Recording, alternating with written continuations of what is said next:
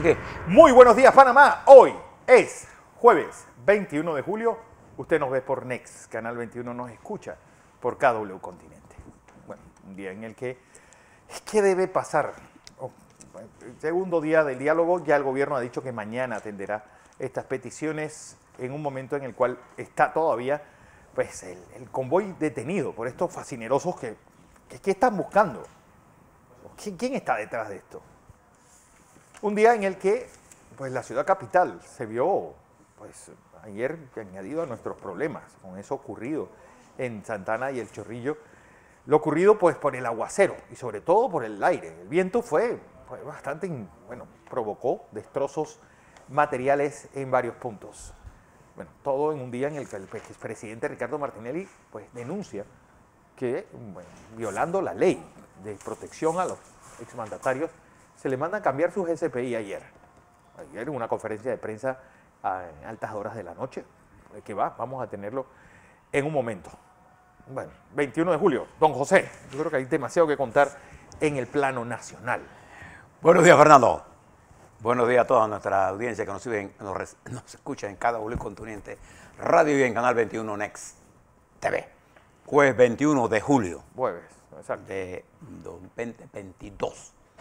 Hoy, primero, recordar a Victorio Vergara Batista. Un día como hoy falleció Victorio Vergara Batista. 1998. Y lo recuerdo porque eh, ese día que, el día siguiente que iba para, para Está librado. no, él iba para salvar, pero murió y sa- sale el- La caravana esa. Para el interior. Yo iba detrás, no porque iba, eh, sino porque yo iba, Fernando, el 23 de julio, este sábado, se cumple un aniversario eh, de la desaparición física de mi hijo, Raúl Ernesto Blandón, y que vive eternamente en la memoria de nosotros. Eh, y este sábado se cumple un aniversario más de su muerte. Pero Victorio había muerto el 21 eh, y por todos los pueblos del interior Esta fue una de las despedidas más le estaban tirando flores. flores.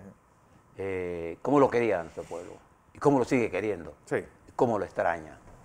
Eh, a el tigre de la Candelaria. Un recuerdo especial Así es. al gran amigo.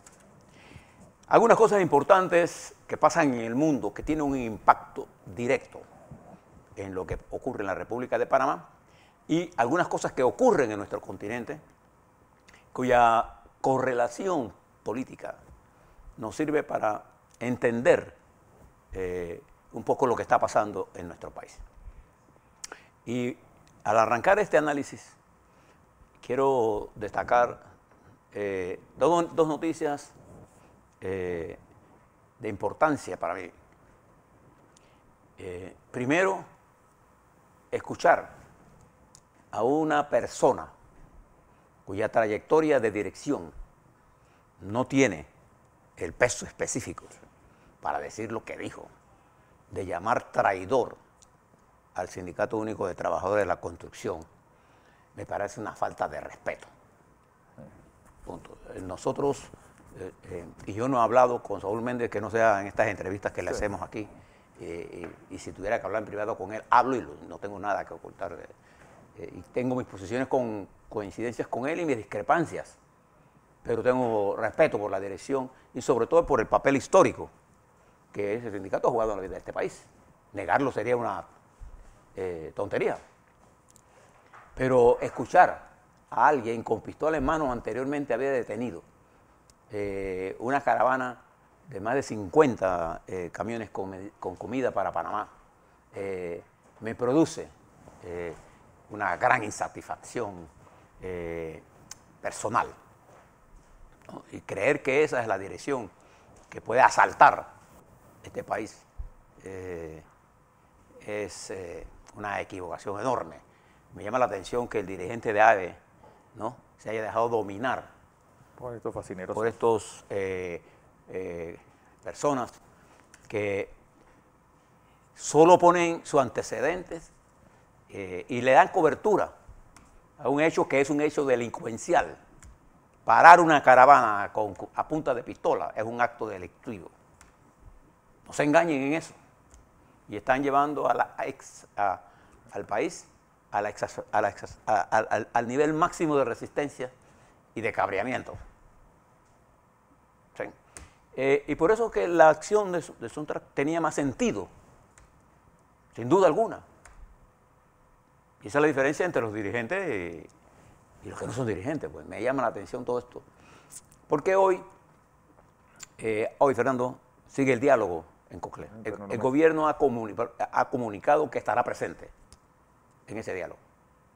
Eh, y esperemos que sea la vida del diálogo la que resuelva este problema. Ahora le cuento algunas cosas que ha pasado en nuestra América y en el mundo que tiene reflejo en esto que está ocurriendo, pero llévelo ahí como noticia importante. La otra que quiero señalarle es que ayer el presidente de Martinelli a las 9 de la noche aproximadamente denunció que le habían retirado eh, escoltas. las escoltas. eh, estamos en el proceso de tener toda la información para compartirla eh, con ustedes, eh, porque por derecho constitucional eh, eh, eso Los es un- presidentes tienen ese lo- los de presidentes tienen derecho a eso.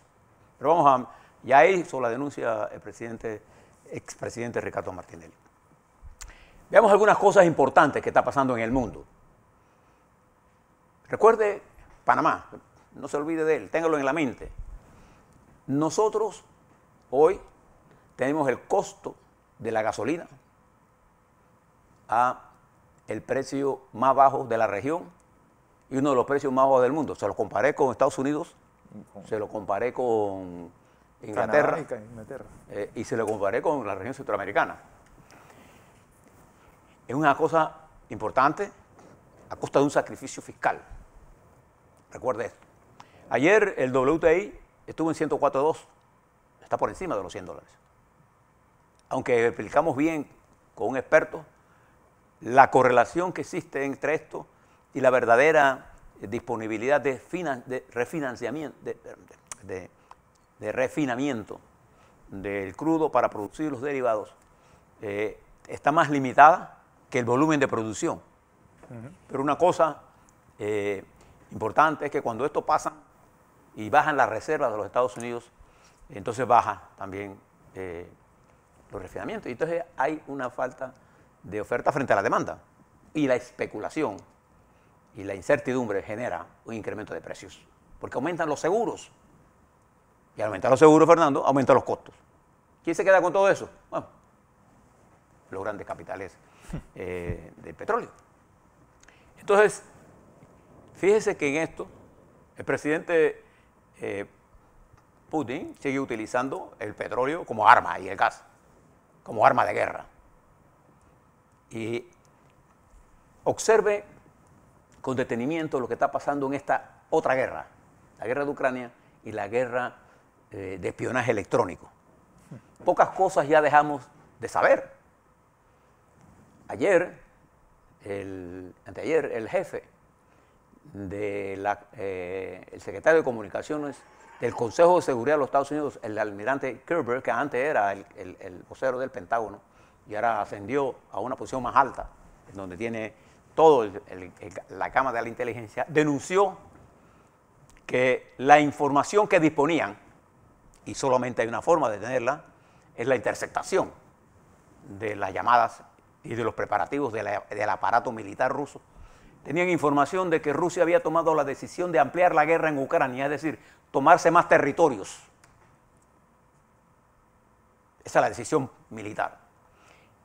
Eso lo dijo él antes de ayer. Ayer, el, ministro de Relaciones Exteriores, eh, Lavrov, Sergei Lavrov, en una comunicación en los medios de comunicación rusa, reitera que Rusia ha ampliado su nivel de ocupación de Ucrania, confirmando la información de inteligencia que había dado los Estados Unidos y reforzando el, el peligro que Rusia ve en la adquisición de armas de alto nivel tecnológico eh, eh, de Ucrania y recordando, Fernando, que dentro de unos meses el general de los generales, el general invierno, vendrá. Y yo no sé si usted conoce Ucrania bien. Es una la mesa. tiene- esa es una región que cuando neva no puede movilizarse nadie. Nadie. Pero no, desde ya, desde, la, desde el otoño, que empieza a caer ese, esa lluvia y se forma ese lodo pegajoso en las calles. Bueno, entonces ellos están tratando de avanzar Lo más posible lo para más el invierno posible detenerse. Para, para detenerlo en el invierno. Pero no, solamente- no solamente contento con eso, ayer nos sorprendimos cuando el director de la Agencia Central de Inteligencia, información que sale a la luz pública, siempre que hay estas reuniones, Fernando, son- Sí. eran secretas, a puerta cerrada. Mire lo que nos dice el director de inteligencia de los Estados Unidos, ahora con China, que la República Popular China eh, no está entregando armas a Rusia, aunque tiene una relación eh, pasiva con respecto a la invasión, China habla de la independencia, de la respeto a la, a la integridad territorial, pero no condena la invasión, pero no está tre- entregando armas a Rusia. Eso no lo dice China, eso lo dice el director de la Agencia Central de Inteligencia de los Estados Unidos. Dos, que una evaluación de la inteligencia china revela, según el director de la CIA, que Vladimir Putin se equivocó estratégicamente en su intervención en Ucrania. Pensó que esta era una guerra de siete días y ha quedado atrapado en una guerra que encima le ha caído a él la guerra de sanciones más grande que recuerda la historia de la humanidad. Mire, no hay guerra más grande que se haya desa- de- desatado de punto de vista económico que la que se desata en este momento contra Rusia y que además de eso las pérdidas de Rusia e internacionales son muy grandes. Pero además de eso, el director de la Agencia Central de Inteligencia asegura que China está evaluando todos los errores cometidos por Put- Putin y se prepara, según él, para una intervención militar en Taiwán, que según él debe ser abrumadora en términos de, eh, de eh, bombardeos de personas, de soldados, de armas contra Taiwán.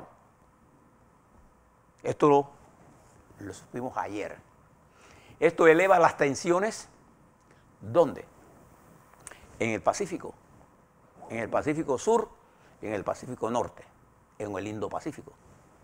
Y eso tiene un efecto en nosotros, porque nosotros, en esa área, gran parte de lo que pasa por Taiwán, eh, por Corea del Sur, eh, China, y una parte de todos estos países, Taiwán, ¿por dónde viene a pasar hacia el este de los Estados Unidos? Por el canal de Panamá. Este incremento de tensiones pone presión al mundo, dentro de la que ya tenemos, porque por otro lado, la Unión Europea acusa a eh, Rusia de chantajear a la Unión Europea con el petróleo. A pesar de que tenemos información que la empresa Gazprom dice que va a reiniciar, de acuerdo a lo estipulado, el envío de gas, pero lo va a ir reduciendo. Y esto obligó ayer a la Unión Europea a pedirle a Europa que reduzca voluntariamente 15% del consumo de gas. Y ha hecho que Alemania y otros países estén usando ahora carbón. Sí. Y uno de los países más productores de carbón del mundo, una de las cosas más contaminantes, es Sudáfrica Y Colombia. y Colombia. Pero Sudáfrica, para Europa, es fundamental y ahora la industria de carbón está en su plenitud, En sus años dorados. eh, por lo que significa el por la, la- y la reanudación de las plantas nucleares. Porque se acerca el invierno, hay un peso específico que está va a pagar Europa y ese peso se va a trasladar al mundo. Claro. Y entonces aquí tenemos cuando, según el, agen- el director de la CIA, Xi Jinping intentará una acción militar, si es que la intenta. Según él, lo más probable es que sea después de octubre, cuando sea proclamado presidente por el, Cinco años más. por el Partido Comunista que se reúne en, en octubre. Eh, y está por verse si realmente la República Popular China tiene eso en sus planes por los costos. Entonces China se está preparando para enfrentar, si es que la tiene que enfrentar, las eh, sanciones militares y económicas. Eso está ocurriendo en esa región del mundo. Mientras que en nuestra región, ajá. Mira lo que está pasando, por ejemplo, en Argentina. Fernando. Ayer conversaba con una periodista norteamericana que ellos sábado nos ayudó mucho en la guerra contra Noriega. contra Noriega. Y me decía que ella acababa de regresar de Argentina. Y que lo que está pasando en Argentina es desastroso. El peso ya rompió la barrera de los 320 pesos por No, dólar. no solamente eso, sino que la- la- la presencia de Cristina Fernández de Kirchner y su controversia de la división de su partido, del peronismo y las fuerzas que dan en la coalición de gobierno, es tan grande que ha impedido que el presidente Fernández pueda ejercer el poder. Y entonces hay como una especie de empate político y un- una especie de inmovilidad política de la Argentina que tiene un costo enorme para poder afrontar la crisis que azota a ese país en términos A de inflación, de devaluación de la moneda, de la escasez de trabajo, el aumento de la pobreza extrema y el hambre y la caída de la producción. La caída de la producción. Y esto ha creado una especie Imagínate cómo será la crisis, José, que cuando se iba a uno a pensar que los argentinos del norte están ahorrando en pesos bolivianos. Es decir, corren a cambiar sus pesos argentinos y las cuentas las de ahorro, un poco para poder mantener una moneda estable, lo están haciendo en el peso boliviano. porque Bolivia sostiene el valor del peso Sostiene boliviano el valor del peso, con el apoyo del dólar y se retiene. retienes el valor. Es Valor. decir, lo que tú necesitas es algo que no se devalúe Claro, día a día. esto está pasando aquí en nuestra región. Usted- Si usted se mueve a Ecuador, le decía a Fernando esta mañana, que nuestros empresarios, los panameños, debieran entender, estudiar el fenómeno de Ecuador, el de Argentina, el de Colombia, para que comprenda la magnitud del problema de Panamá. ¿Qué está pasando en Ecuador? En Ecuador el presidente, vuelvo y reitero, un hombre que conoce la economía, un banquero, Un banquero ha sido ministro de Estado. casi tiene experiencia, eh, y que cree en la democracia, intentó reformar cosas importantes que destruyó el correísmo, y se explicaba ayer Lenín Moreno, y se enfrenta a una asamblea, una parte controlada por el sector del narcotráfico y otra parte corre- eh, eh, por, por una izquierda trasnochada, Sí. y no puede Ecuador salir del estancamiento en que se encuentra, porque incluso sectores empresariales de allí se dividen con respecto a entender que lo fundamental para Ecuador será resolver el problema de la democracia y la, fa- la factibilidad de que la, la democracia funcione. No es eliminar al presidente, es fortalecer al presidente. Entonces juegan al juego del gato y del ratón. Yo estoy contigo y contra ti. Porque quieren estar bien para reservarse a un poder que no van a tener. Mire en el caso de la, de la élite colombiana, que desoyendo lo que estaba ocurriendo, no hay un- en, en Colombia nunca hubo diálogo serio con el movimiento social. El presidente saliente, Duque, jamás conversó de verdad a fondo con este tema. Y lo que usó fue la fuerza, y no el diálogo. Nosotros en Panamá estamos usando el diálogo y no estamos usando la fuerza todavía.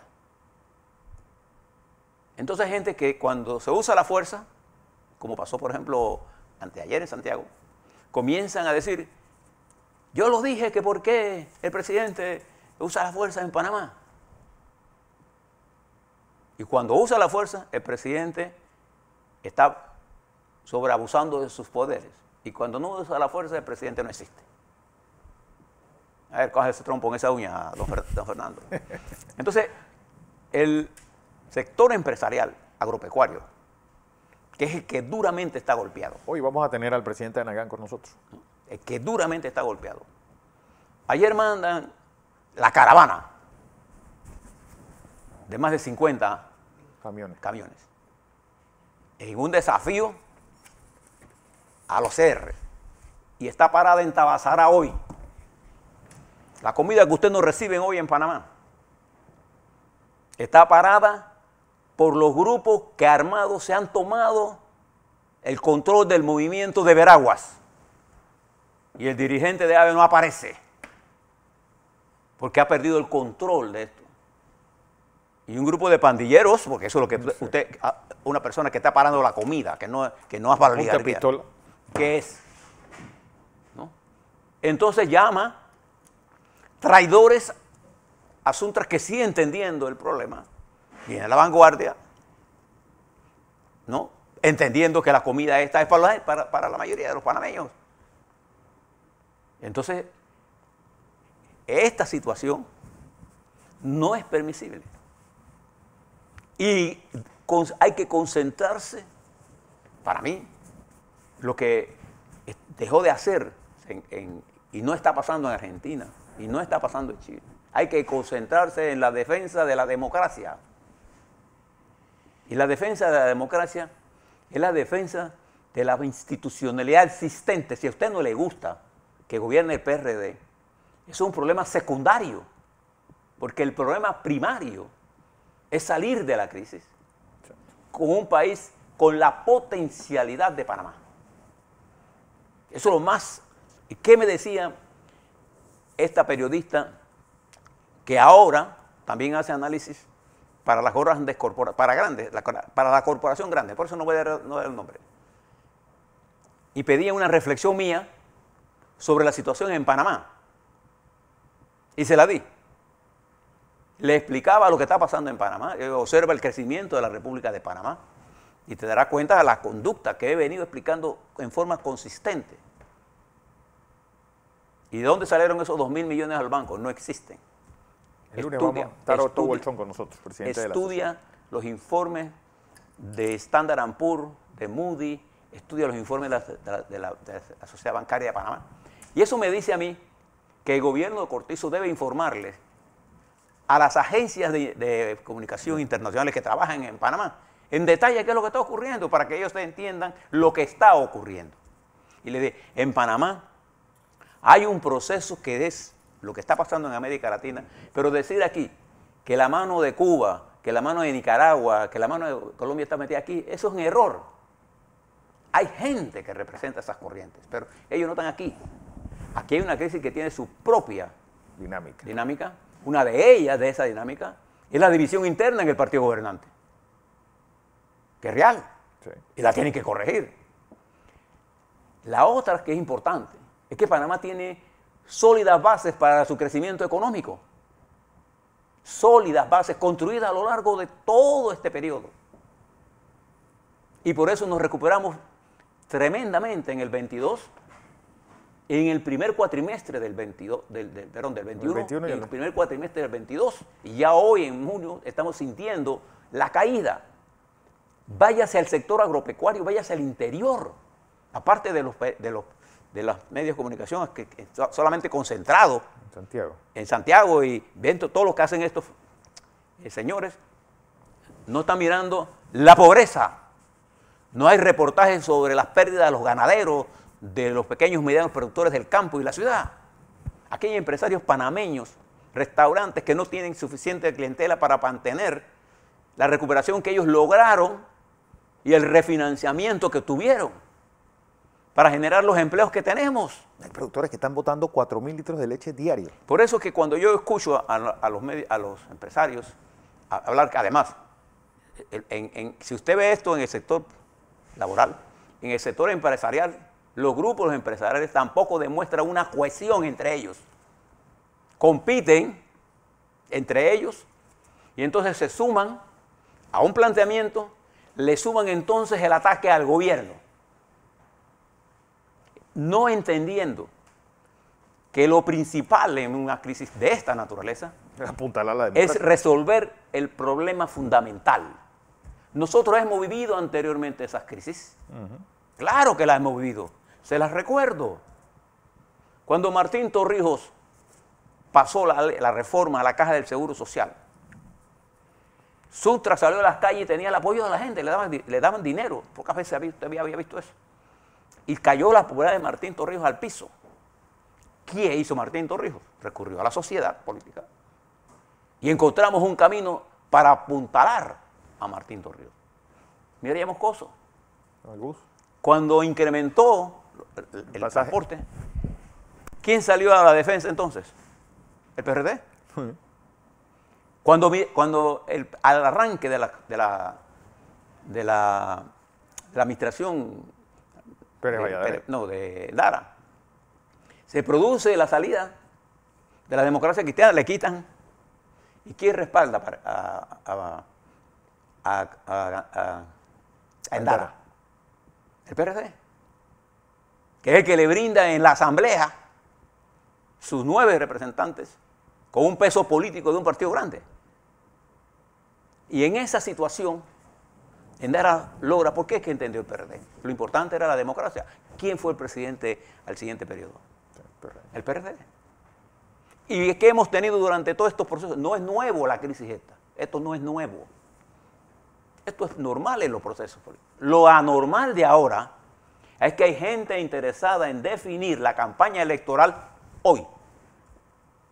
A dos años no hay proceso que, de gobierno que, que resista este ataque brutal a la institucionalidad. No lo hay. En Colombia duró un año y paró porque los mismos... Le cayó la pandemia también. Le cayó la pandemia, pero además se dieron cuenta que existía una posibilidad real de que Petro ganara. Y fíjense lo que pasa en Colombia ahora, para que lo entreguen a nuestros empresarios. Petro gana con un programa de, izquierda y se mueve al centro. Ayer llegó la delegación norteamericana eh, para que va a preparar la reunión que se va a dar con Petro, eh, con la presencia del de, embajador, por aquí apunté, el, nombre del embajador eh, de, Colombia, aquí está, el, el, embajador Francisco Palmieri, está preparando con el equipo de Petro la presencia de una delegación de alto nivel del presidente Biden para coordinar las relaciones futuras entre eh, Colombia y Estados Unidos. Y yo le decía a la periodista que hablaba conmigo ayer, que está haciendo los análisis de inteligencia para una multinacional, el problema es que los Estados Unidos abandonó América Latina. Totalmente. Y no está entendiendo bien los procesos políticos de América Latina. Con el simplismo, ¿no? Es o es, amarillo, o es, rojo, o es rojo o es verde. No, en hay toda una gama. Los procesos políticos no son iguales. Catalogar el proceso de Chile igual que el de Perú es una eh, ignorancia.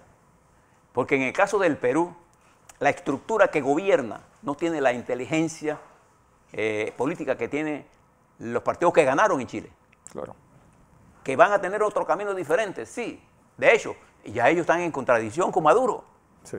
al no entender esto, cometen errores estratégicos. ¿Y por qué yo le hablo de esto? Porque yo creo que el sector eh, empresarial panameño está cometiendo errores estratégicos. Y creo que, fíjese usted, los grupos que están en, en Coclé, en la mesa de negociaciones, tienen una mejor comprensión estratégica del problema político por el que atraviesa Pazán. Así es. Y es por eso que Suntra ayer venía al frente de la, de la, caravana. de la caravana, porque ellos entendieron perfectamente bien que la lectura que tenían de esto era correcta. Todos los panameños están pendientes si esa caravana regresa o no a Chiriquí. No es el fracaso de, de Nito Cortizo, es el fracaso del sistema político panameño. Así es. Eso es lo que está pasando.